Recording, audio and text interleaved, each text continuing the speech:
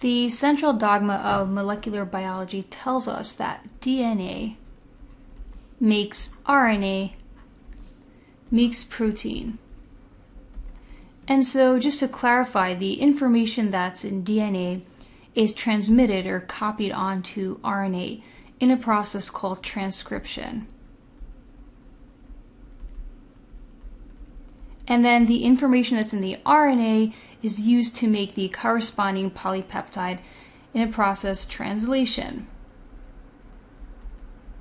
And so, just to recap, each three nucleotides on the DNA are going to code for one amino acid. And so, on the RNA, each three nucleotides as well code for one amino acid. And then, in translation, those amino acids are put together to form a polypeptide, which then makes a protein. And right now, we're going to focus on transcription.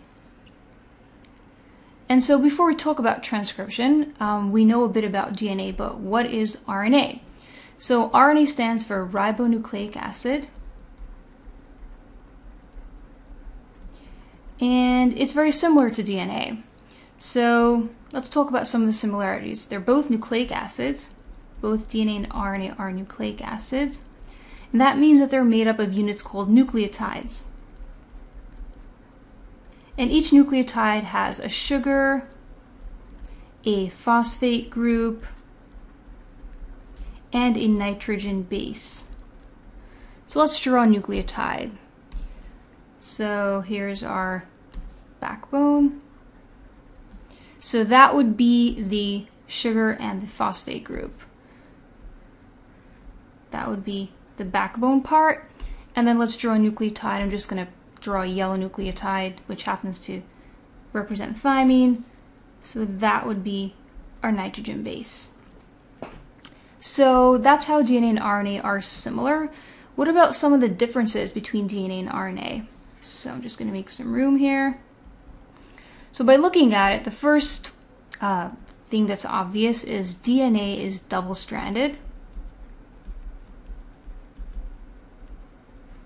and RNA is single stranded. Usually. There are some exceptions to this. There are some viruses that have double stranded DNA. I'm sorry, double stranded RNA. But in general, RNA is single stranded. Another difference between DNA and RNA is that the sugar in DNA is deoxyribose.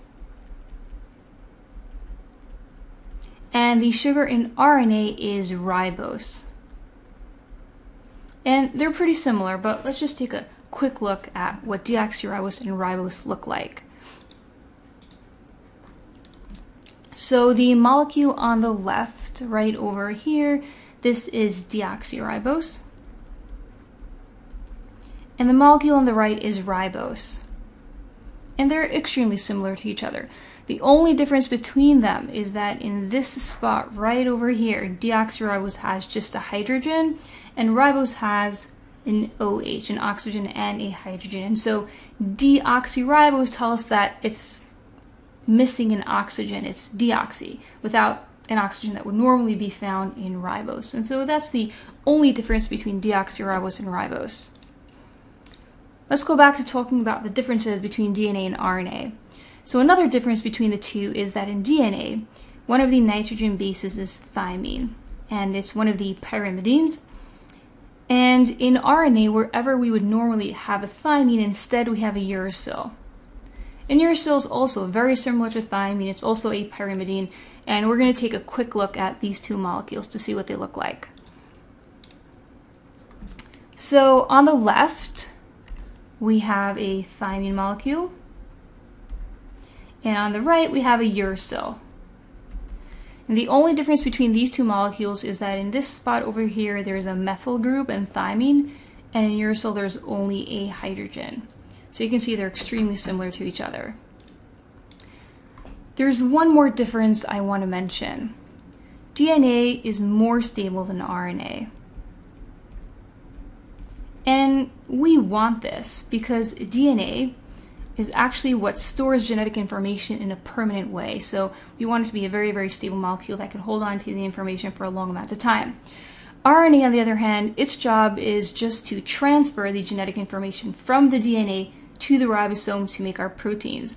And so it's not as important for RNA to be as stable as DNA. And RNA is constantly made in the cell and degraded and recycled all the time, whereas DNA kind of just stays put. So now that we spoke about some of the differences between DNA and RNA, um, let's focus a little bit more on RNA. So here we have our RNA molecule. And then we're also going to just leave our DNA for now. And there are actually a number of different types of RNA. The first RNA we're going to talk about is mRNA. And that M stands for messenger. And messenger RNA is the RNA that's made during transcription. So if we were to transcribe this DNA, we would make a piece of mRNA.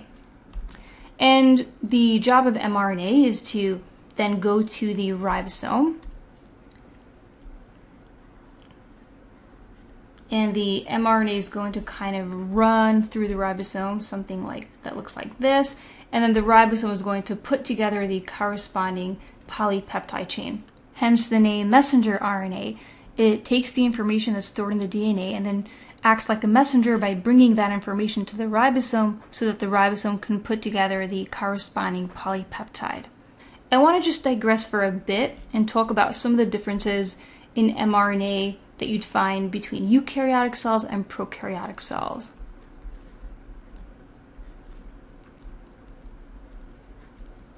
So, in eukaryotic cells, mRNA is usually monocistronic. And that means that one piece of mRNA is generally going to code for one polypeptide chain. Prokaryotic mRNA can be polycistronic. That means that you can have one piece of mRNA that's coding for a few polypeptides. So you might have one part that codes for one polypeptide, and then maybe the next part codes for another one, maybe it codes for a third polypeptide and a fourth polypeptide. And usually, when you have a piece of polycistronic mRNA, the polypeptides that are being coded for are related in function in some way. Another difference I want to mention is where mRNA is made. So, in eukaryotic cells, mRNA is made in the nucleus. And for that matter, transcription also happens in the nucleus. And I'm just going to abbreviate it like that. In prokaryotic cells, well, they don't have a nucleus, so mRNA is made in the cytoplasm. And, well, transcription also happens in the cytoplasm. So I'm just going to write also transcription just going to abbreviate it as well. And interestingly, um, in prokaryotic cells, translation can actually happen at the same time as transcription. So you can have a piece of mRNA being made, and while it's being made, it starts to attach to the ribosome and be translated. And the reason that that can happen is that they're happening in the same place. In eukaryotic cells, that can't happen. The mRNA is made in the nucleus, and then it has to leave the nucleus and go to the cytoplasm, where the ribosomes will then translate it. And the last difference I want to mention is that in prokaryotic cells, the primary transcript, I'm going to explain what that is in a moment. The primary transcript is mRNA. So the primary transcript refers to the RNA that's made during transcription. So in prokaryotic cells, the RNA that's made, that's mRNA. That's ready to go to the ribosome and be translated. Not so in eukaryotic cells. In eukaryotic cells, the primary transcript must be processed. And then after it's processed, well, it becomes mRNA. So only after it's processed is it messenger RNA and can it go to the ribosome and be translated. The next type of RNA I want to talk about is rRNA. And that R stands for ribosomal RNA. And ribosomal RNA is found in the ribosome. So the ribosome is made up of two components. It's made up of rRNA, and it's also made up of other polypeptides. And the interesting thing about ribosomal RNA is that even though it's it's a nucleic acid, it actually acts like an enzyme.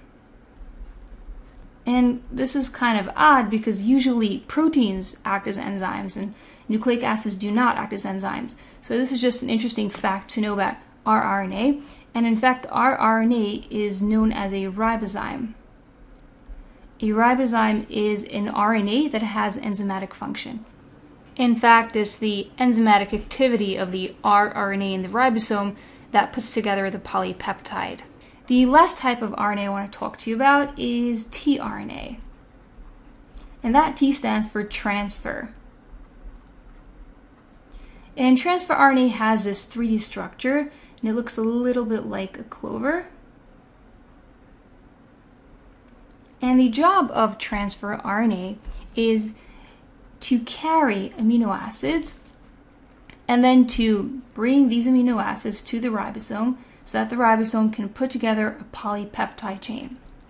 Let's just recap. We spoke about messenger RNA, we spoke about ribosomal RNA, and we spoke about transfer RNA. And I just want to mention the enzymes that put together RNA in eukaryotic cells. So in eukaryotic cells, mRNA is put together by RNA polymerase 2 Ribosomal RNA is put together by RNA polymerase 1. And transfer RNA is put together by RNA polymerase 3.